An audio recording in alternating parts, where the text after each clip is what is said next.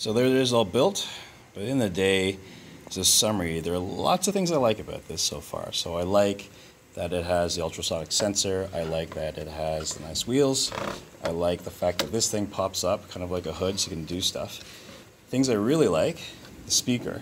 I really like that it comes with a speaker because you don't need to hook up stuff and have wires and things like that. And it's really engaging. I like the fact that it has expansions for two servos and it comes with those servos. So there's a lot of stuff you could do with it. The body's pretty well designed. One thing I'm always concerned about is whether or not it's going to be durable. You can see how close to the ground it is. So if your kids step on it, it's more likely to kind of catch the back end here and it's more likely to kind of like snap where the joints are rather than to destroy any precious parts. Most of all, this thing's pretty durable. So you have students working with this stuff.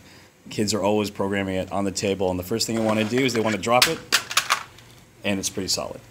So overall, pretty good design. Pretty happy with it. Let's see how it fares against the other robots.